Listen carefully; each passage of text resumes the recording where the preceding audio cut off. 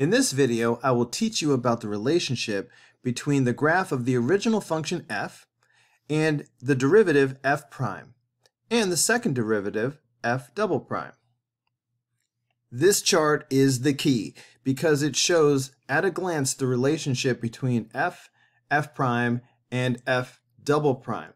So I want you to pause and memorize this chart right now. Make sure that if you needed to, you could write this chart in the margin of your next test or quiz from memory. The parabola shown here is the graph of a function f. Circle all terms that correctly complete each sentence. At x equals 1, f of x is definitely what? And we might circle more than one term in the same row. So at x equals 1, f is definitely positive because it's here above the x-axis. So it'll be positive. So it's definitely, uh, it's not negative, it's not zero. It's not increasing either because this is a horizontal tangent line. So it's neither increasing nor decreasing right here. So we can skip both of these. Um, is it concave up or down? Obviously this is concave down. So we will also circle that. Number nine, now we're talking about f prime at x equals 1. Remember that f prime is the slope. So is the slope here at x equals 1 positive, negative, or 0? Yeah, this is a horizontal tangent line, so the slope is 0. Is the slope increasing or decreasing? An easy way to answer that is to uh, think back on the relationship between f and f prime. If f is concave up, then f prime is increasing. If f is concave down, then f prime is decreasing. And we just discussed on the previous problem that f is concave down. So that means that the slope, f prime, is decreasing. Um, we don't know anything about whether uh, f prime is concave up or concave down. So it says definitely. We don't know, so we won't circle those. Number 10, at x equals 1, f double prime is definitely what? Well, let's definitely look at the chart. The relationship between f double prime and function f is, if f is concave up, f double prime is positive. If f is concave down, f double prime is negative. That's really all we know about f double prime. So, since f is concave down, that means we know that f double prime is negative. And that's all we know. This graph looks the same but there's been an important change. This is now g prime, the derivative of some original function g.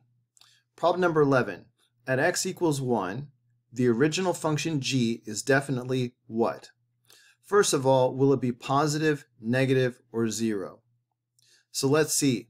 We're given g prime and we're being asked about function g.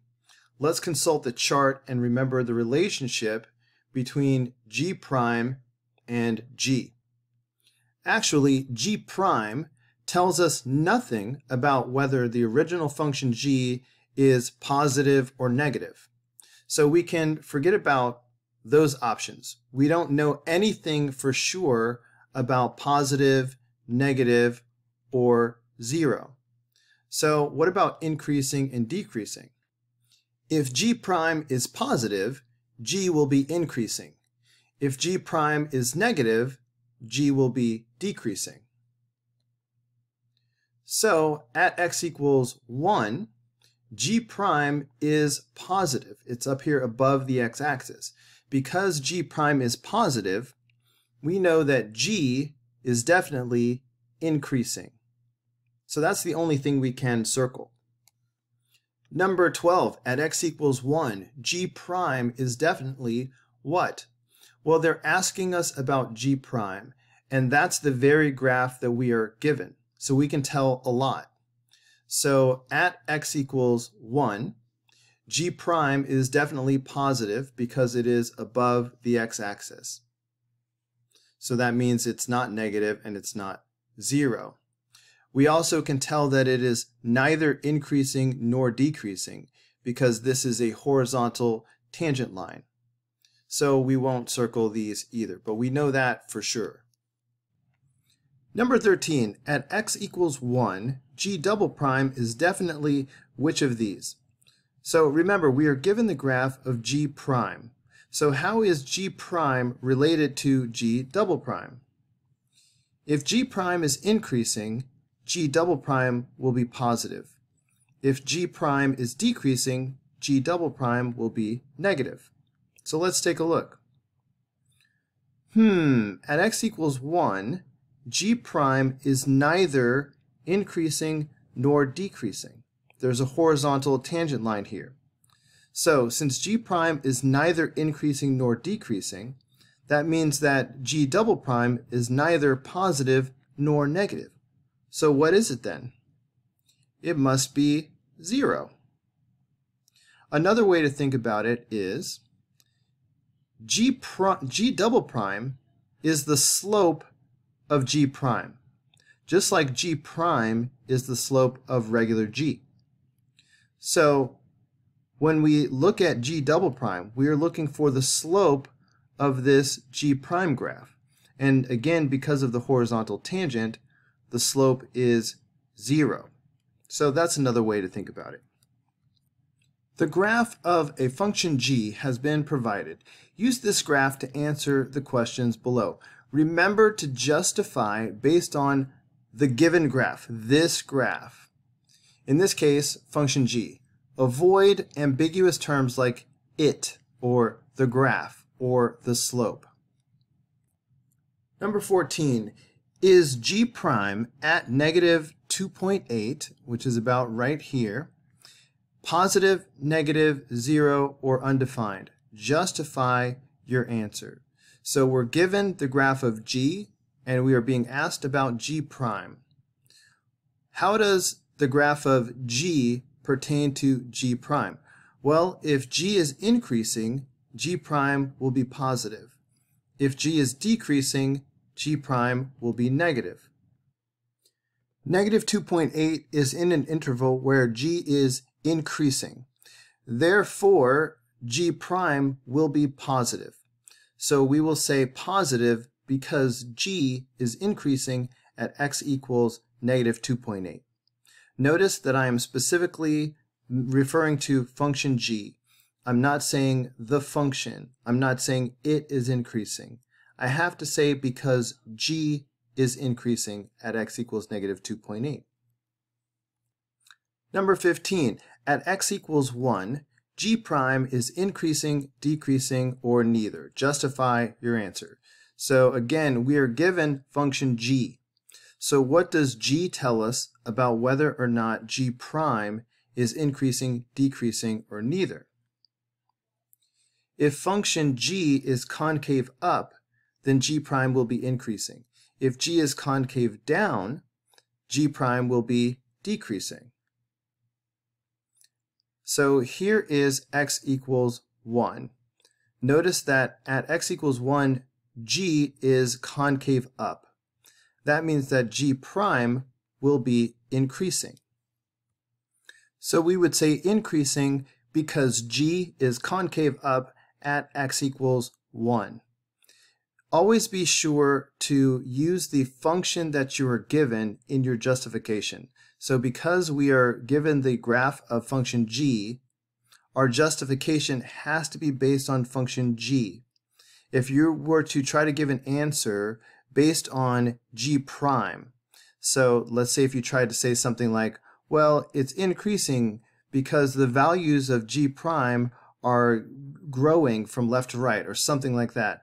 That would be unacceptable. We are not given the graph of g prime, so you cannot refer to g prime. Number 16, find a value of k for which the following statement is true, or explain how you know no such k exists. g prime at k is equal to 0. So they're saying the slope is zero. Let's start with the justification. The only way the slope is going to be zero is if the original function has a horizontal tangent line. So we'll say because g has a horizontal tangent line at x equals whatever. Notice that I had to base my justification on g because that's the only graph that I have. Now look at the second part. g double prime at k is less than 0. In other words, g double prime is negative. Well, what does the original function g have to do with g double prime being negative? The original function will be concave down if g double prime is negative. So here comes the second part. And g is concave down at x equals whatever the number is. So let's find this number where g has a horizontal tangent line and g is concave down. I see horizontal tangent lines here and here, but this is the one where g is concave down. So the number we need is negative 1. So we will say negative 1 because g has a horizontal tangent line at x equals negative 1 and g is concave down at x equals negative 1. For the next few problems, we are given the graph of h prime. So when we do our justifications, we will only be mentioning h prime. Number 17, is h double prime at 3 positive, negative, 0, or not defined? So we're given h prime. So what does h prime have to do with whether h double prime is positive, negative, or 0? So if h prime is increasing, then h double prime will be positive. If h prime is decreasing, h double prime will be negative. At an x value of 3, which is here, we see that h prime is decreasing. That means that h double prime will be negative. Your answer and justification should look like this. Negative because h prime is decreasing at x equals 3. Number 18, at x equals negative 4, is h of x increasing, decreasing, or neither? Well, we are given the graph of h prime. So what does that have to do with whether or not the original function h is increasing, decreasing, or neither? So if h prime is positive, h will be increasing. If h prime is negative, h will be decreasing. At x equals negative 4, h prime is negative. Therefore, h will be decreasing. So we'll say decreasing because h prime is negative at x equals negative 4. Number 19. Find an x-coordinate of c at which the following statement is true, or explain how you know no such c exists. The graph of h is increasing and concave down at x equals c. Justify your answer. Let's work backwards and begin with our justification.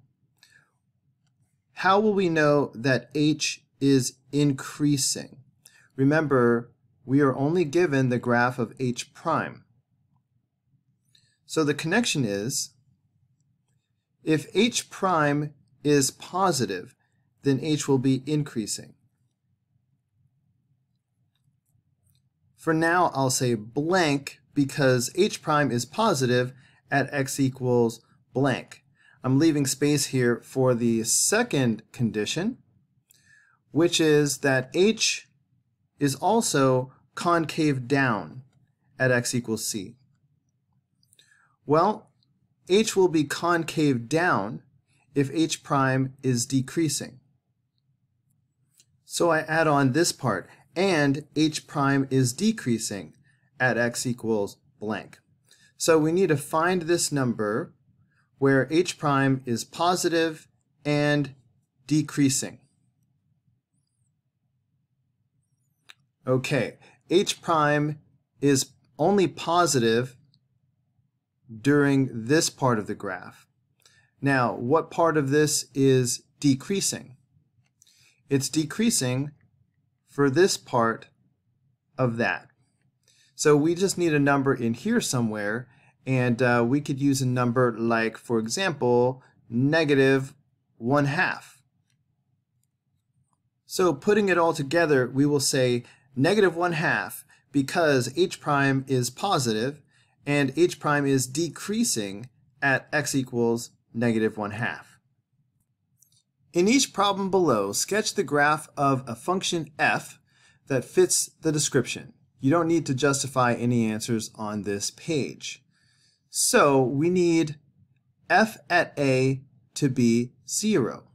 So that just means the value of the function at a will be 0. So we can just put a dot right there. f prime has to be less than 0. In other words, f prime is negative. Well, this is the slope. So it has to have a negative slope right here. So we can just simply draw a line going downhill through that point. Number 21 says f prime is negative and increasing at x equals a. Focus on this part first. f prime is negative. This is saying that the slope is negative. Well, look, that's the same thing that we said the last time. f prime is less than 0. So in the last problem, the slope was negative and I just drew a line going downhill from left to right. So can I just draw another line going downhill? Not quite because of the second part. The slope also has to be increasing. This is a constant slope. It's linear. So if I need a slope that's increasing, it's going to have to be concave up. So I'm going to draw something like this. So at A, uh, we still have a negative slope because you can see how the tangent line is downhill, but the slope is increasing as we go. Um, if it's not clear to you that the slope is increasing, you might refer to the chart. If function f is concave up, that automatically means that f prime will be increasing. So I made it concave up so that f prime would be increasing. We should label these graphs. This is function f. Okay, number 22. f is continuous but not differentiable at a.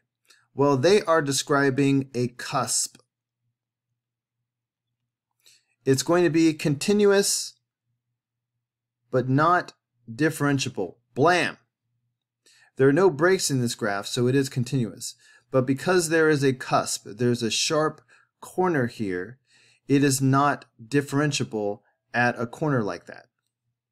So number 23, f is positive for all a. So whatever we draw, it's the whole thing is going to be positive. But f prime is equal to 0 for all a. Well, this is saying that the slope is 0. So the slope is 0 and the function itself is positive. Well, that's easy. If the slope is 0, we're talking about a horizontal line. And if the function has to be positive, we just need to put our horizontal line above the x-axis. So, kabam, there you go. Oh, I forgot to label this one.